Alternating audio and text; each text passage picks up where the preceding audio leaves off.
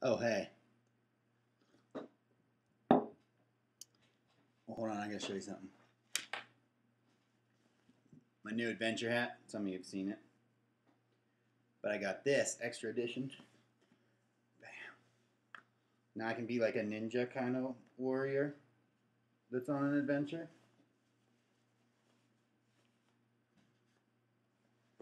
You know, with the glasses and everything. Anyway, thought I'd show you that.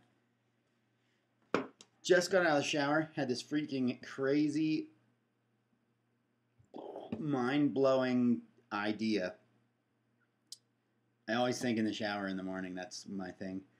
Um, anywho, so I'm thinking I had this friend yesterday, we went shredding together, and, and uh, he was always super intimidating, and so I never really spent a whole lot of time with him and then he was coming to SFC and going to church with us and stuff, and now he's like super happy and always smiling and fun and stuff. So I've been hanging out with him more. But I was thinking about like his life is like has been like changed by Jesus, and I was like, man, freaking, how awesome is that? That you can see a dude who like used to be super scary and now he's like super fun.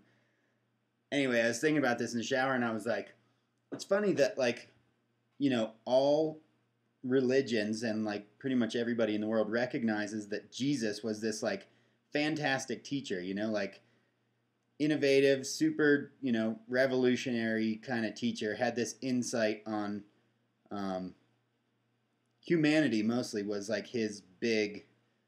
I mean, Jesus knew things and had this insight on humanity that was like mind blowing. Like people just and everybody everybody knows that. Everybody knows his teachings and and how crazy they were. Like he had this insight and i was like man like why was he just like wicked observant of his own self? Or like why was he such a good teacher?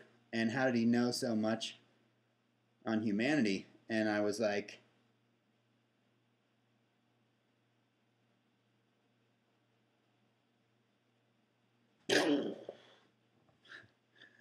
It's crazy. I was I never thought about that, but I, I, was like, oh, Jesus created humanity. Like in the beginning, it says that He was the one who created uh, mankind, and you're like, oh, of course, the creator of a thing would know the most about that thing and be able to teach the best and be the most insightful on a thing, you know, and you're like, oh, why did I never think of that before? Why, how could that? And so I stood like this in the shower, like, ah, huh, ah, makes perfect sense. So for all those people, everyone across the world who believes that Jesus is a great teacher and had this incredible insight on mankind, how did he get that? He created mankind.